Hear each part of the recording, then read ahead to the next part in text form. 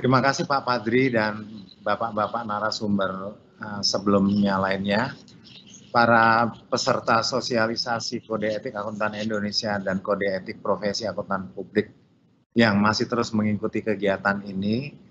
Uh, karena memang keterbatasan waktu, memang kita tidak akan mungkin bisa mengupas secara keseluruhan materi yang ada di dalam uh, buku kode etik yang sudah uh, diterbitkan ini. Namun demikian nanti kepada para peserta tentunya akan diberikan kesempatan untuk bisa melink seluruh paparan dari narasumber yang akan disampaikan pada saat penutupan oleh panitia. Dan kita masih ada waktu kurang lebih 30 menit untuk uh, tanya jawab Alhamdulillah sampai dengan siang ini masuk 100 pertanyaan dari para peserta yang hadir. Pada kesempatan ini cukup banyak, namun juga karena keterbatasan waktu tidak semua pertanyaan ini bisa dijawab pada kesempatan ini. Panitia mencoba untuk e, mengambil tujuh pertanyaan yang e, bisa mewakili dari IAI, IAMI, dan e, IAPI dan sisanya tentunya uh, 93 pertanyaan lainnya nanti akan di-share kepada masing-masing asosiasi yang tentunya harus ditindaklanjuti dalam bentuk uh, aktivitas sosialisasi yang lebih mendalam di setiap asosiasinya. Nah dari tujuh pertanyaan tersebut ada kurang lebih bisa saya sampaikan di sini. Atau mungkin sudah disampaikan ke teman-teman narasumber kah? Sudah ya. Jadi ada tujuh pertanyaan. Uh, bisa next coba pertanyaannya. Nah ini contohnya, uh, apakah etika yang membangun profesi itu sendiri atau sebaliknya Pak? Nah ini tentunya ditunjukkan kepada IAI. Nah pada kesempatan ini nanti pertanyaan dari masing-masing ini ditayangkan di di sini dan kesempatan pertama tentunya diberikan kepada Pak Emil Bahtiar untuk menjawab pertanyaan yang, yang dikaitkan dengan uh, IAI Pak Emil. Silakan Pak Emil untuk uh, menjawabnya. Kalau memang Pak Emil sudah di-share ya pertanyaannya ya. Sudah Pak. Oke, silakan Pak Emil. Bisa terlihat juga di sini. Iya. Oke, terima silakan. Terima kasih Pak Dodi dan terima kasih juga nih Pak Suryadi ya menanyakan apakah etika yang membangun profesi itu sendiri atau sebaliknya ya Pak? Atau sebaliknya artinya profesi yang membangun etika mungkin gitu ya. Uh, etika itu kode etik uh, sebagaimana tadi disampaikan adalah melindungi tujuannya melindungi anggota profesi supaya bisa tetap uh, komit tetap melin, uh, memenuhi kepentingan publik sebagaimana janji suatu profesi. Jadi uh, melindungi lebih bertujuannya siapa, terus lalu, lalu siapa yang membangun profesi? Yang membangun profesi adalah tentu anggota profesi maupun uh, asosiasi profesi itu sendiri yang bisa membangun profesi untuk lebih maju lagi. Jadi bu bukan kode etiknya, gitu kira-kira. Sudah cukup Pak Emil? Saya sudah untuk nomor satu. Pertanyaan kedua masih Pak Emil kelihatannya. Pertanyaan kedua dari Pak Ahmad Apandi, eh, apa pengaruhnya akuntan yang bersifat deontologi dan utilitarian terhadap profesionalisme atau tanggung jawab akuntan dalam pengambilan keputusan etis? Golongan mana deontologi atau utilitarian yang lebih etis atau lebih bertanggung jawab? Ini seperti pertanyaan ujian nih Pak, apa namanya di kelas ya, ada teori-teori uh, etika gitu. Uh, saya jawabnya uh, sebagai dosen nggak mau langsung, jadi saya jawabnya adalah uh, kode etik itu adalah merupakan kewajiban yang harus dilaksanakan oleh uh, uh, profesi akuntan. Siapa pun mereka, selama mereka berprofesi akuntan, maka mereka wajib melaksanakan uh, kode etiknya. Jadi yang Pak Ahmad Apandi bisa tebak sendiri kan, kalau merupakan kewajiban itu termasuk deontologi atau utilitarian. Begitu kira-kira Dodi untuk jawaban saya nomor dua ini. Baik, kita masuk ke pertanyaan nomor tiga, tolong ditayangkan.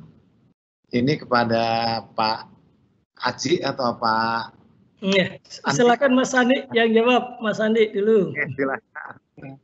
Terima kasih Prof. Aji dan Pak Moderator. Untuk pertanyaan yang nomor tiga, terkait dengan akuntan yang bisa menurunkan ancaman dari level tidak dapat diterima menjadi level dapat diterima, bagaimana teknis aplikasinya oleh akuntan? Jawabannya sebenarnya ini sudah dijelaskan di slide yang terakhir, bagaimana akuntan untuk menyesuaikan permasalahan sehubungan dengan tekanan yang diterima akuntan. Ada beberapa tahapan sehingga akuntan bisa dapat mengurangi uh, tingkat ancaman sehingga bisa menerima tekanan tersebut. Nah, yang pertama adalah akuntan jika mendapatkan tekanan uh, dari uh, kolega, akuntan bisa berdiskusi dengan atasannya. Tapi kalau misalnya akuntan mendapatkan tekanan dari atasannya, akuntan bisa berdiskusi juga dengan uh, uh, manajemen perusahaan atau misalnya dengan pihak yang terkait dengan tata kelola perusahaan. Kalau misalnya akuntan masih merasa tekanan levelnya belum bisa diterima, akuntan bisa menggunakan tahapan yang berikutnya. Misalnya akuntan menggunakan WBS system, ya, yang mana ini bisa di uh, uh, tergantung juga perusahaan, tapi majority perusahaan sudah mempunyai kebijakan atau program WBS, ya, whistleblowing system. Dan kalau misalnya tekanannya masih belum bisa diturunkan untuk menurunkan ancaman, akuntan bisa berkonsultasi atau berdiskusi dengan profesi asosiasi akuntan atau dengan eksternal maupun internal auditor dengan uh, mungkin dengan uh, regulator juga. Dan yang terakhir kalau misalnya tekanan tersebut masih tidak bisa diterima ancamannya akuntan bisa menolak atau tidak terlibat lagi untuk uh, yang terkait dengan tekanan tersebut. Dan otomatis pilihannya adalah akuntan bisa mengajukan untuk resign tapi semuanya harus ada dokumentasi. Nah, uh, jawaban yang untuk uh, misalnya kalau untuk uh, akuntan menerima rujukan ya atau menerima uh, suatu hadiah, contohnya seperti apa? Akuntan bisa men melaporkan hadiah yang diterima kepada manajemen perusahaan atau misalnya contohnya kalau misal kita terima dari vendor kita bisa foto dan kita bisa share ke pihak uh, PIC yang terkait manajemen perusahaan atau pihak HRD dan kalau misalnya akuntan juga mau langsung mengembalikan ke uh, vendor yang memberikan itu bisa diperbolehkan. Atau menyumbangkan kembali itu juga bisa diperbolehkan. Tapi biasanya kalau menyumbangkan kembali, vendornya minta, kita sulit juga menggantinya. Biasanya dikembalikan. Itu contoh-contoh untuk aplikasi dalam rangka mengurangi ancaman dari uh, yang bisa diterapkan oleh akuntan. Nah, untuk pertanyaannya yang yang kedua adalah bagaimana memilih pihak ketiga yang rasional uh, sorry, pihak ketiga nasional, adakah persyaratan untuk seleksinya? Uh, mungkin ini yang dianggap sebagai menggunakan jasa pihak yang ketiga. Sebenarnya akuntan harus menggunakan professional judgment-nya. Penggunaan dari pihak yang ketiga yang rasional apakah sesuai dengan uh, kebutuhan yang dibutuhkan oleh akuntan dari sisi reputasi dan keahlian atau kemampuan dari pihak ketiga perlu dipertimbangkan dan juga pihak ketiga kalau terkait dengan accounting, finance, kita butuh S5. Uh, eh, diharapkan juga pihak ketiga ini juga mempunyai uh, profesional ya, adalah profesional akuntan juga yang ya harus mematuhi kode etik. Tapi kalau misalnya untuk jasa yang terkait dengan sistem atau IT itu bisa ya untuk uh, third party pihak ketiga yang pengalaman atau mampu di bidangnya dan mempunyai reputasi yang bagus. Nah, uh, mungkin itu yang bisa hmm, saya berikan penjelasan untuk pertanyaan yang ketiga ini. Untuk selanjutnya, silakan Prof. Ada Haji. Keempat. Oke, untuk pertanyaan yang nomor empat. Agak panjang ini. Agak panjang tapi paham nih. Pak, ini oh iya, silakan, Pak Haji. sering kita alamin sebagai akuntan muda yang bekerja di perusahaan. Ya, biasanya ada tekanan dari pemilik ini. Kalau tekanannya dari teman gampang, tekanan dari kolega gampang. Kalau tekanan dari pemilik agak pusing nih. Sehingga ada teman ini ada tekanan dari pemilik, mestinya perusahaan rugi disuruh buat untung, misalkan gitu kan. Jadi akibatnya teman akuntan muda ini nggak tahan, akibatnya keluar nih Pak. Jadi akuntan seperti kutu loncat, tidak sesuai dengan hati nurani Rata-rata mereka paham kode etik, tapi pelaksanaannya di perusahaan agak susah. Tahapannya sama seperti yang dikatakan Mas Sandi tadi di pertanyaan yang ketiga. Ya biasanya kita konsultasi sharing dengan teman-teman akuntan lain, akuntan manajemen atau akuntan publik atau akuntan uh, internal auditor di perusahaan lain. Kemudian datang ke sekretariat IAI, konsultasi, perundingan, jalan keluarnya dan lain sebagainya tapi kalau nggak kuat lagi ya apa boleh buat, cari perusahaan lain. Kalau perusahaan lainnya sama ya jadi dosen. Ini disebutkan juga nih. Jadi dosen mengajar kode etik dan profesi ya di kampus. Gitu. Sehingga pertanyaan tadi yang nomor dua bisa dijawab. Jadi itu lebih enak, lebih independen, lebih profesional, tidak ada tekanan-tekanan lain dari para pemilik. Nah, harapannya ke depan ini kan kode etik akuntan Indonesia ini mengatur akuntan Indonesia, bukan mengatur pemilik perusahaan atau owner. Jadi sanksinya tetap hanya untuk teman-teman yang akuntan, sedang untuk owner kurang nggak ada saksi di sini di kode etik ini nggak ada. Mungkin harapannya ya ke depan RUU pelaporan keuangan yang mewajibkan CFO harus akuntan profesional sehingga wajib menerapkan kode etik. Nah, harapannya lebih kuat lagi, Pak. Kalau direktur keuangannya itu bukan pemilik, ya. Jadi pemegang saham, direktur utama itu ditahan oleh direktur keuangan, ya, gitu kan, yang bergelar yang bergelar akuntan mungkin CA atau bergelar CPME dan lain sebagainya. Harapannya pelaksanaan kode etik ini berjalan dengan baik. Ya, ini harapan kami untuk teman-teman akuntan muda. Kalau nggak sesuai dengan hati nurani, kode etiknya banyak dilanggar di perusahaan, tahapannya ada enam tadi yang disebutkan Mas Andi itu, nggak saya ulang lagi. Tapi kalau nggak kuat juga, ya apa boleh buat, ngelamar jadi dosen, ya. Siap kami membantu. Terima kasih. Terima kasih Pak Aji dan Pak Andi ada selanjutnya masih ada tiga pertanyaan. Kita masih ada waktu 20 menit untuk ditujukan kepada IP. Nah, silahkan Pak Tarko dan Pak Iapi, sorry. Iapi, nah, sorry. Silahkan Pak Tarko dan Pak Padri untuk bisa menjawabnya. Terima kasih Pak. Uh, ini kalau saya melihat pertanyaan ini, ini uh, apa tidak ada permasalahan Pak sebenarnya. Jadi pertanyaan apakah benar implementasi dari SA 710 A11 ini melanggar eh, apa namanya Undang-Undang Akuntan Publik pasal 30 ayat 1C.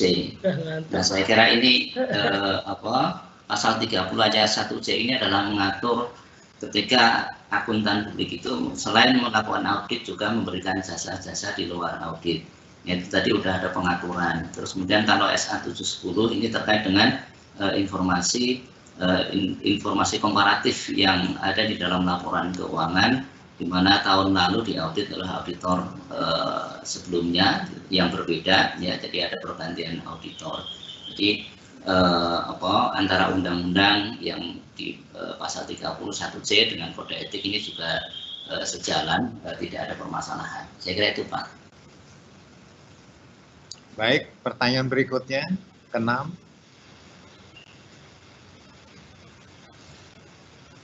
Mungkin Pak Padri bisa bantu, Pak. Silakan Pak Padri. Oke ya Pak, Pak ini pertanyaannya saya coba bacakan. Jika saat melakukan pemeriksaan ditemukan pendapatan lain-lain dari suatu perusahaan berasal dari suatu lain usaha lain perusahaan tersebut bersifat ilegal dan tidak berizin, apakah ini melanggar kode etik atau masuk ke pidana? Ya ini sudah fraud Pak, jadi uh, ini sudah masuk ke pidana kalau sudah urusannya fraud. Bahwa ini ada kecurangan, karena tadi disebutkan bersifat ilegal dan tidak berizin. Menjadi uh, melanggar uh, kode etik apabila akuntan publiknya membiarkan. Gitu. Jadi kalau ini sudah masuk kepada klasifikasi fraud dan dan ini uh, sudah uh, mengarah kepada bukan hanya pelanggaran kode etik. Kode etik adalah melindungi anggotanya. dari hal-hal uh, yang memang mungkin menjadi ketergangguan independensinya. Jadi kalau tadi disebutkan bahwa memperoleh pendapatan lain-lain dari suatu perusahaan berasal dari usaha lain yang bersifat illegally atau tidak berizin. Ini klasifikasinya sudah fraud. Jadi kalau sudah fraud itu ya harus dilaporkan gitu. Karena memang kalau kita lihat kepada uh, fraud tree itu kan ada tiga hal ya. Jadi uh, bisa masuk kepada kelompok yang pertama korupsi, yang kedua uh, fraudulent financial reporting, yang ketiga ada misappropriation asset. Yang melanggar kode etik ya kalau seandainya akuntan publiknya membiarkan artinya tidak mengungkapkan di dalam laporan keuangannya ataupun tidak memberitahukan kepada manajemen ataupun barangkali uh, ketentuan baru bahwa di dalam noklar yang ada sekarang ini itu adalah no compliance to the law and regulation itu merupakan suatu pedoman bagi akuntan publik apabila apabila ditemukan suatu kecurangan atau suspek ada kecurangan. Jadi itu sudah jelas sekali uh, suspek aja harus dilaporkan, apalagi memang ditemukan. Begitu barangkali kira-kira untuk uh, jawaban pertanyaan nomor 6. Terima kasih. Baik, pertanyaan 7. Pak, masih Pak Tarko sama Pak Andi sama Pak Padri, silahkan Pak. Ya, makasih Pak. Pak Hasim ini pertama nanti mungkin bisa dikomunikasikan kepada akuntan publiknya yang bertanggung jawab atas uh, audit laporan keuangan PTX ini. Apakah permasalahan ini masih ongoing ataukah sudah selesai atau seperti apa? Eh, agar dikomunikasikan nanti ke IAPI eh, sehingga kemudian nanti kalau misalnya perlu dibantu dan segala macam kita ada tim hukum yang bisa eh, apa namanya nanti mungkin ya sharing atau memberikan pandangan-pandangan terkait dengan kasus yang dihadapi eh, tersebut nih karena eh, apa namanya pasti ada akuntan eh, publiknya ya yang yang terlibat di situ yang tanda tangan opini auditornya tersebut. Kemudian pada intinya bahwa harus bisa membedakan eh, apa namanya mana yang merupakan tanggung jawab auditor, mana yang merupakan tanggung jawab dari manajemen terkait dengan laporan eh, keuangan. Nah, uh, ini yang yang uh, harus kemudian dibedakan sehingga clear nanti apa yang harus dilakukan oleh auditor dan apa yang harus nanti kemudian dilakukan oleh uh, direksi. Jangan sampai nanti ketukar-tukar gitu atau tercampur atau tidak jelas mana tanggung jawab auditor, mana hmm. tanggung jawab dari uh, manajemen. Uh, karena ini ini mungkin walaupun ini baru kasus ini uh, dibawa ke pengacara atau law firm, apakah kemudian juga otomatis ke pengadilan atau apa ini kan nggak tahu juga mungkin masih dalam proses e, negosiasi atau apa di antara para pemegang saham e, tersebut. Nah sehingga kemudian nanti bisa mensikapi ya terkait dengan e, apa namanya situasi dan kondisi yang dihadapi oleh Pak e, Hasim e, ini ya. Terus kemudian yang e, B, apakah ada ketentuan tersendiri dalam kode etik ini untuk mendampingi anggota profesi dalam bidang hukum dan uh, pengadilan. Ya, kalau ini mungkin polisi di masing-masing organisasi ya. ya. Kalau ada anggotanya yang dikenakan atau ada tuntutan dari uh, pihak lain dan segala macam ya. Tapi kalau uh, di kode etik ini memang ada suatu pengaturan uh, terkait dengan uh, jasa dukungan litigasi. Uh, artinya kalau misalnya akuntan uh, publik yang berpraktek uh, melayani masyarakat ya kemudian diminta untuk memberikan uh, jasa dukungan litigasi nah itu uh, dites juga di dalam kode etik ini saya kira itu Pak Mas. Baik, terima kasih Pak Tarko dan teman-teman yang sudah menjawab.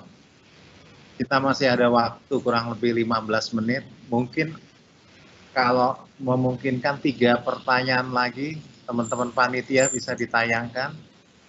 Oke. Uh, pertanyaan ke IAPI, uh, Pak Tarto, silakan. Pak Patri, Patri. Pak. Ya. Ya, coba Pak, baru dapat ini pertanyaan belum baca lagi. Langsung jawab. Ya, jadi ini terkait hadiah dan ramah tamah. Belum, belum. Ya, apakah ada batasan nominal coba. tertentu yang boleh tidak boleh diterima baik level cup, partner ataupun tim auditor pelaksana di lapangan. Pertama adalah karena, karena ini konteksnya eh, auditor, konteksnya kantor akuntan publik, eh, managing partner atau para partner yang ada di cup tersebut menentukan suatu batasan, ya berapa eh, dan policy terkait dengan adanya misalnya hadiah keramah ke ramah taman dan seterusnya tadi, apakah diperbolehkan ataukah misalnya ada toleransi sama dengan batasan tertentu. Kalau dalam kode etik ini nggak ada, eh, tentu kemudian nanti implementasinya adalah di eh, masing-masing eh, kantor ya. Eh, kalau kantor kemudian nanti membuat policy bahwa itu nggak boleh sama sekali, ya itu bagus ya supaya kemudian nanti eh, tidak memunculkan gangguan atau ancaman terkait dengan eh, objektivitas eh, dari para auditor tersebut. Eh, tapi mungkin ada satu case ya, karena kan namanya keramah taman hadiah ini kan bisa macam-macam nih Pak. Kadang-kala mungkin kita diajak makan siang itu sudah mungkin termasuk kategori hadiah juga nih Pak, dibayari oleh klien gitu ya. Terus kemudian juga mungkin eh, apa namanya kita dipinjami kendaraan, nah itu kan dijemput segala macam. Ini kan juga termasuk bagian dari hal seperti ini ya, hospitality eh, apa yang yang kemudian nanti Eh, tentu batasan batasan eh, secara general Pak ya itu adalah eh, apakah kemudian hadiah dan keramah taman ini adalah eh, dari sudut pandang eh, kebiasaan eh, umum di masyarakat itu merupakan hal yang masih dalam kategori bisa diterima ataukah kemudian itu merupakan suatu hal yang dalam tanda kutip luar biasa sehingga kemudian bi- di- bisa diduga atau dapat diduga itu nanti akan mengganggu independensi. Nah, makanya di dalam eh, rangka eh, penerapan dari kode etik ini ada yang namanya eh, eh, apa namanya apa namanya eh, third party reasonable test gitu. Jadi eh, suatu pengujian dari sudut pandang pihak ketiga yang rasional. Nah, ini eh, yang kemudian nanti bisa digu- digunakan sebagai ukuran. Bagaimana kemudian pihak ketiga apabila melihat eh, situasi dan kondisi ini, apakah hadiah dan keramah taman ini merupakan sesuatu yang bisa diterima ataukah sesuatu yang eh, tidak boleh gitu. Artinya melanggar eh, hal yang sifatnya adalah eh, melebihi eh, batasan gitu. Ya itu yang third party reasonable test. Artinya tidak mesti kita harus meng-hire pihak ketiga untuk kemudian misalnya untuk memberikan suatu eh, penilaian dan segala macam. Tetapi kita sebagai auditor sebagai akuntan akuntan publik ya itu memiliki suatu gambaran, suatu pemahaman. Eh, kalau ini dari sudut pan- pandang pihak ketiga seperti apa sih eh, respon mereka, tanggapan mereka, apa kemudian mereka akan menganggap, akan mempersepsikan bahwa pemberian atau hadiah-hadiah tadi, keramah taman tadi itu nanti akan eh, dicurigai, ya akan mengganggu independensi. Nah, kira-kira seperti itu Pak yang bisa saya sampaikan terkait dengan pertanyaan tersebut. Baik, selanjutnya masih ada Ya, pi lagi Pak Tarko. Pak Patri, Ini nggak ditayangkan, nggak ditayangkan nih pertanyaannya, jadi saya juga belum baca ya ini. Biar Pak, layar. Iya, iya. Ini Pak Bambang Sudarmaji nih Pak kolega kami ini, jadi anggota IHP. Nah ini sama Pak prinsipnya, dan jadi eh, memang eh, di dalam kode etik ini kan tidak kemudian eh, 100% eh, boleh tidak boleh gitu. Jadi eh, menganut prinsipal base dalam artian kita harus mengevaluasi seberapa eh, signifikan, seberapa tinggi derajatnya dari eh, ancaman atau gangguan yang nanti bisa mengganggu eh, independensi. Nah, eh, ini yang kemudian eh, derajat dari gangguan tadi eh, party reasonableness test ini yang nanti kemudian menjadi eh, penting. Jadi kalau nilainya kecil tidak berdampak ya eh, saya kira no problem Pak Eh, karena memang eh, apa namanya hal seperti itu yang sifatnya adalah eh, tidak signifikan sehingga ancaman itu meskipun eksis tetapi kemudian masih dapat diterima.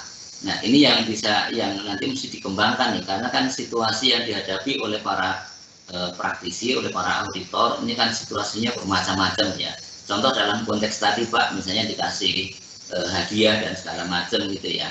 Eh, hadiah kita sering kadang-kala mungkin eh, nggak nggak aware atau mungkin bisa jadi juga oh ini nggak masalah ini hal yang yang yang umum. Contoh misalnya kalau kita dikasih pulpen Pak, pulpen kalau mungkin pulpen yang bermerek tiba-tiba kok nggak ada angin nggak ada hujan tiba-tiba dikasih gitu. Nah tentu itu kemudian bisa menimbulkan eh, apa namanya prasangka bagi, bagi pihak ketiga yang mengetahui hal tersebut. Tetapi kalau kemudian klien itu atau entitas itu memang terbiasa pak bagi-bagi kaos gitu kan bagi-bagi pulpen bagi-bagi bagi blok note yang selain diberikan kepada auditor juga dibagi-bagikan kepada eh, apa namanya kolega-kolega bisnis yang lain gitu kan kepada masyarakat kepada publik mungkin karena sedang ulang tahun dan eh, seterusnya gitu ya. Nah saya kira ini masih hal yang sifatnya adalah lumrah gitu ya eh, yang bisa diterima. Nah eh, memang kemudian nanti ketika eh, di menerima hal seperti tadi nanti juga harus dicek juga gitu kan.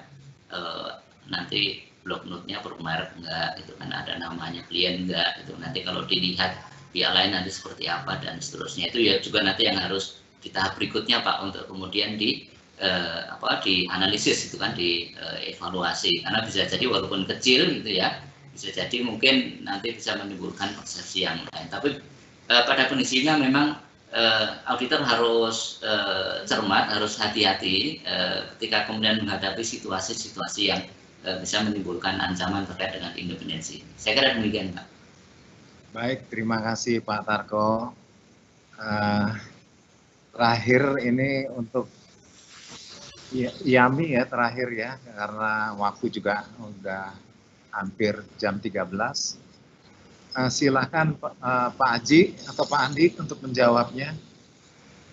Ya, dalam hal berpraktek menyusunan laporan keuangan adanya keinginan tertentu dari klien yang harus diikuti. Apakah hal tersebut merupakan pelanggaran kode etik? Sekarang untuk menyusun laporan keuangan kan harus ada standarnya itu berdasarkan standar. Kalau keinginannya itu tidak sesuai dengan standar ya nggak bisa diikuti. Itu aja secara profesional. Kalau menyusun laporan keuangan kan berada standar akuntansi keuangannya ini yang nggak jelas adalah keinginannya tertentu gimana nih yang harus diikutin. Kalau melanggar standar ya nggak mungkin bisa untuk menyusun laporan keuangan. Toh nantinya juga akan diaudit oleh kantor akuntan publik yang mengikuti juga apakah standar akuntansi keuangannya sudah dilaksanakan secara konsisten. Ada disclosure. Jadi rasanya tidak ada pelanggaran bila penyusunan laporan keuangan sesuai dengan standar akuntansi keuangan. Itu jawaban saya. Ada tambahan Mas Andri? Ya, jadi kalau dari pertanyaan ini memang karena kan ada keinginan dari klien ya. Mungkin ini lebih ke arah uh, servis jasa yang diberikan oleh KJA atau kantor akuntan publik yang non assurance ya. Nah, ada keinginan dari kliennya untuk membuat uh, laporan keuangan sesuai dengan yang diinginkan. Nah, balik kembali lagi dari proses penyusunan laporan keuangan diharuskan harus sesuai dengan kita punya prinsip standar akuntansi keuangan ya. Selama sesuai dengan prinsip standar akuntansi keuangan yang berlaku, seharusnya tidak ada pelanggaran kode etik. Baik, kita masih ada waktu beberapa menit karena yang memulai Pak Emil, maka yang mengakhiri Pak Emil juga Pak Emil untuk menjawab pertanyaan terakhir. Silakan Pak Emil dari Ibu Sinta Dewi. Uh, terima kasih Pak Dodi. Jadi pertanyaan Ibu Sinta Dewi, bagaimana menerapkan independensi bagi KJA karena KJA kan tidak melakukan audit, apakah uh, harus tetap independen dan bagaimana contoh penerapannya? Jadi uh, independen tadi kan uh, terkait dengan adanya uh, benturan kepentingan, kita melaksanakan satu perikatan uh, apa namanya audit atau uh, review, kemudian juga uh, perikatan asuransi. Nah itu yang jadi pertanyaannya. Kalau tidak melakukan perikatan audit dan sebagainya, maka seharusnya uh, tidak tidak terlalu ini relevan untuk masalah independensi dikaitkan sama ini. Walaupun uh, ada tetap masalah seperti benturan ancaman benturan kepentingan dan sebagainya itu masih tetap ancaman kepentingan pribadi ini ya, dan sebagainya masih tetap uh, relevan bagi KJA. Kira-kira itu Pak uh, Dodi. Baik, terima kasih Bapak Ibu sekalian yang masih hadir pada kesempatan sosialisasi siang ini. Pertama-tama tentunya kami mengucapkan terima kasih kepada para narasumber, Pak Emil, Pak Haji, Pak Andi, Sama-sama Pak Pak. Tarko, Terima kasih Pak. Adri, serta Bapak Ibu sekalian Ya, yang terima kasih Pak. sosialisasi hari ini. Ah, tentunya saya tidak akan menyimpulkan apa yang sudah dibahas dan berharap setiap asosiasi tentunya nanti akan bikin aktivitas lanjutan dari sosialisasi ini Ah, dan berharap juga yang masuk pertanyaan itu ada 100. Alhamdulillah ada 100 pertanyaan yang masuk dan nanti panitia akan menyampaikan ke masing-masing asosiasi untuk ditindaklanjuti pertanyaan itu Bapak-Bapak Narsum. Nah, terakhir tentunya saya selaku moderator menyampaikan terima kasih kepada uh, jajaran Dewan Pimpinan Nasional IAI, Pak Fir, Pak Firmansah, selaku pimpinan PPPK Kementerian Keuangan serta uh, panitia semuanya yang berkesempatan untuk mensukseskan kegiatan uh, sosialisasi ini. Nah, terakhir saya mohon maaf apabila hal-hal- ada hal-hal yang kurang berkenan dalam penyampaian uh, kegiatan ini yang saya moderatori. Uh, dengan ucapan terima kasih. Bila taufik walidayah. Wassalamualaikum warahmatullahi wabarakatuh. Saya kembalikan ke Pak Edu. Pak Edu, silakan. Baik, eh, terima kasih Pak Dodi Setiadi selaku moderator pada acara sosialisasi kode etik akuntan pada siang hari ini. Ibu dan Bapak sekalian, demikianlah acara sosialisasi kode etik akuntan Indonesia, kode etik akuntan eh, publik pada yang berlangsung dari tadi pukul 10 pagi hingga sekarang menjelang pukul 13.00 WIB. Secara khusus kami ucapkan terima kasih kepada Bapak Firmansyah Nasarudin selaku Kepala PPPK Kementerian Keuangan yang telah menyampaikan uh, keynote speech, Ketua Dewan Pengurus dan Manajemen Eksekutif IAI, IAPI, dan IAMI yang telah berkolaborasi dalam penyelenggaraan acara sosialisasi ini. Secara khusus juga kepada para pembicara dan Pak Dodi Setiadi selaku moderator, serta seluruh pihak-pihak yang mendukung terlaksananya acara sosialisasi pada hari ini. Kami juga ucapkan terima kasih atas partisipasi aktif Ibu dan Bapak, eh, para peserta yang sudah setia dari tadi pagi hingga sekarang mengikuti acara ini. Kami berjumpa kembali pada acara-acara yang diselenggarakan oleh organisasi profesi akuntan di Indonesia, baik oleh IAI, IAPI, dan IAMI. Sesuai dengan pesan tadi, stay safe, stay healthy, stay at home Bapak Ibu, dan selamat menjalankan ibadah puasa bagi yang menjalankan ibadah ini. Selamat siang, sukses selalu, dan salam profesionalisme akuntan Indonesia. Terima kasih.